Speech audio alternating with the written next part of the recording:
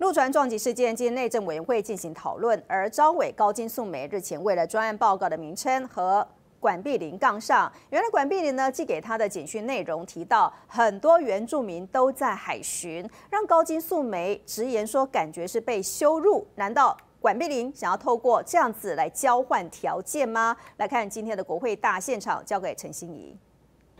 好，各位观众朋友，欢迎收看国会现场哦，我是陈心怡。那今天呢，我们刚刚大家聊的是，因为今天呢，所有的这个委员会都召开了，那尤其是内政呢备受关注，主要就是因为呢，这个海委会这个主委管碧林，他因为这个这个议呃议会的这个名字啊，他其实呢做了很多次的这个算是他就是不服，他希望说呢是改成另外一种的这个名称哦，不想用这个撞撞船来定定哦。不过呢，其实今天已经定下来了，那我们今天呢。找到了这个委员叶元之来跟我们聊一下，委员早安。早安，各位观众朋友，大家早。好，但是呢，我们可以看到哦，其实就在这个委员会要开始之前呢，这个招委啊，高俊素梅他是收到了一封简讯。其实呢，这个是这个管碧玲来跟他道歉，但是道歉的简讯里面似乎还提到说呢，委员也知道说这个部分的原住民呢，其实，在海委会有很多上的都是他们的工作，有点像是在利益条件交换。另外又提到这个原住民，其实让高金非常的不开心哦。那我想问一下，说委员会怎么看？说这样子他的道歉，然后后来又叫好像是副加。条件的交换条件的感觉了，怎么看？说就是管碧林这样子的一个做法。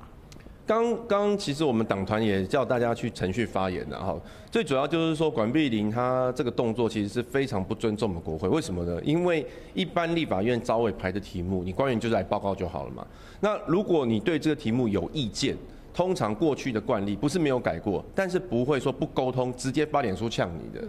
以前做法多半就是说，哎，先找招委办公室，先做私下沟通。那如果招委很硬，那关于官员又觉得有困扰，那通常就是比如说找到党团的总招继续沟通，都一定会在就是把这个事情台面上之前呢，先把大家私下沟通解决。但管碧玲这次是非常恶意，他是拿到这个报告题目直接剖脸书，在完全没有跟高金沟通的状况下，那实际上我觉得这个就是故意的。为什么？因为高金他他那个名称叫做撞船案，那个撞船案是很中性，他也没有说谁撞谁嘛。撞船案这个是海巡署自己记者会用的词。那高金在排案的时候也没有刻意要弄你啊，他就是很单纯的把你们也用过的词当做专案报告的名称，结果你居然大做文章借题发挥，那这个不就是恶意挑衅吗？那所以为什么今天很多国民党的委员会到现场去，就是做程序发言，这是要维护我们立法院尊严啊。如果说每一个官员他都可以对于这种名称他看了不高兴，或者他觉得要借题发挥，就可以用发脸书的方式去对呛的话，那国会的尊严何在？所以今天，我我刚刚也有去那个委员会，我发现连民进党的委员都没有针对管碧林这个做法在护航，他们只是在讲说那个撞船呃如何如何如何，但他没有去护航管碧林发言出这件事情。所以，我我我觉得这个管碧玲真的就是错了啦。那至于说你刚刚讲那个简讯那个东西，我是觉得很离谱啦。就是他居然呃传给高金的，我觉得我看起来，如果我是高金，我会觉得我被威胁。嗯。他的他的潜台词就是说，你也有很多选民原住民在海巡哦。嗯。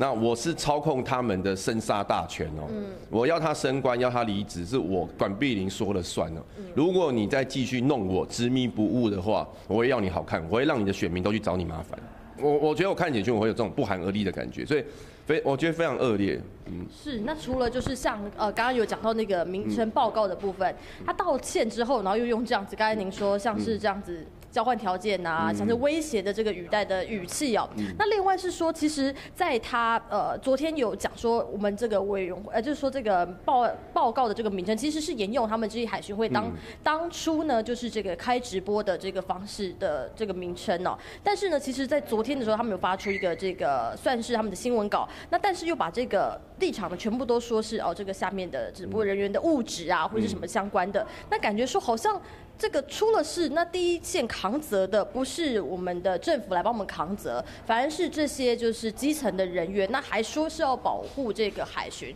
看起来似乎背道而驰。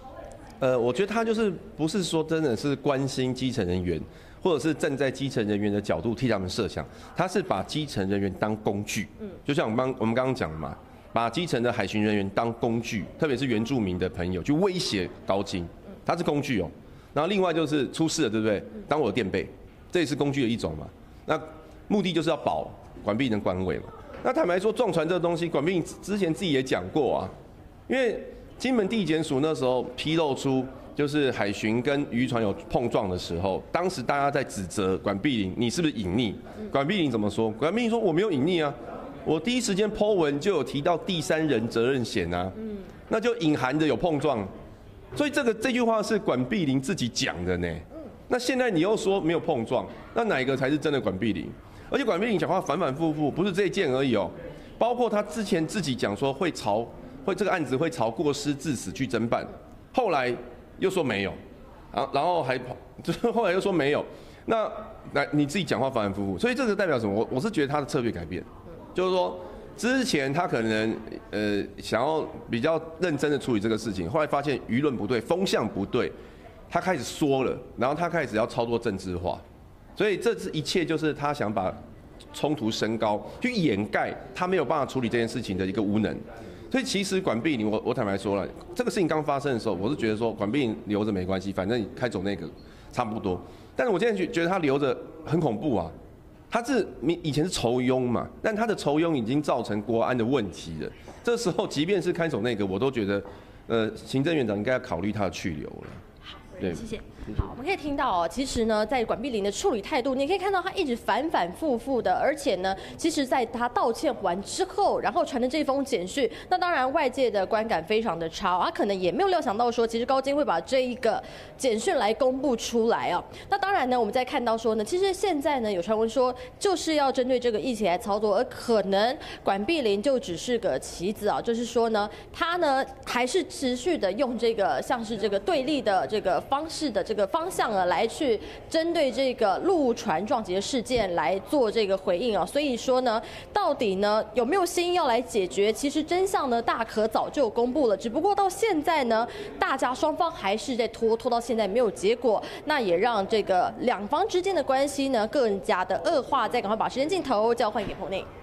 太阳星全效克菲尔益生菌，我吃了两三天，最明显的感觉是睡眠品质竟然变好了。睡得好，让我整个人工作更专注，心情也变得更稳定更好。因为太阳星全效克菲尔益生菌，才让我认识到克菲尔益生菌，它是由多支菌种的益生菌所组合而成，不仅能够维护消化道机能正常运作，还拥有多种有益健康的保健功能，相当强大。你知道吗？有台大教授专门研究它，称它是神仙的礼物。上千篇的国际研究证实，克菲尔益生菌不仅帮助肠道健康，肠道菌透过肠脑轴影响全身器官，所以维持肠道菌丛的平衡是解锁身体健康、精神健康的钥匙。